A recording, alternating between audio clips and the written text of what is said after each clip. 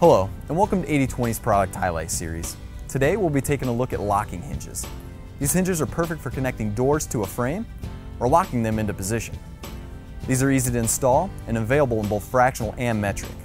Now one thing you want to keep in mind when using this hinge is that although machining isn't required, bolt assemblies will be needed. More information on 8020's recommended bolt assemblies can be found in the 8020 product catalog.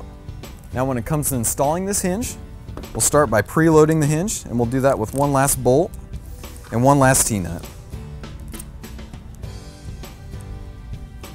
So we got that on there, we'll grab our frame and we'll install half the hinge, sliding it right into an open T-slot. We'll find the location we want and we'll tighten it down. Once we got that, we'll grab the other profile and we'll slide it onto the other half of the hinge. We'll get the location down and we'll tighten that down as well.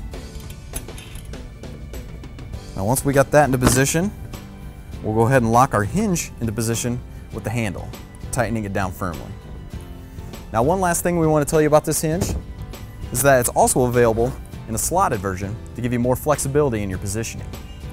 Now hopefully you found this segment on locking hinges helpful. For more information, visit 8020.net and make sure to subscribe to future 8020 videos. And as always, make it a great day.